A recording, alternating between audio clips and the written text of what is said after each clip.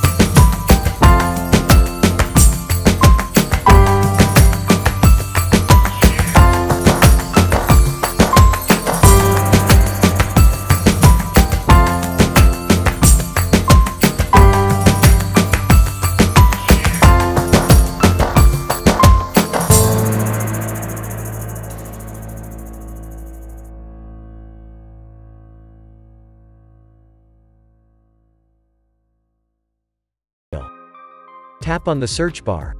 Then it shows some file types, such as documents, PDFs, photos and images. Choose Documents option. If you didn't find any file types, just search as Document in the search bar. After choosing Document file type, it shows all the document files. Long press on the files and select multiple files. Later, tap on the Bin icon. Then it asks for deletion confirmation. Tap on Move to Trash to delete the files. That's it, multiple documents are deleted in Google Docs using mobile application. Hope you like this tutorial. For more information, visit our article. Link provided in the description. Subscribe to our channel for regular updates. And don't forget to hit the bell icon.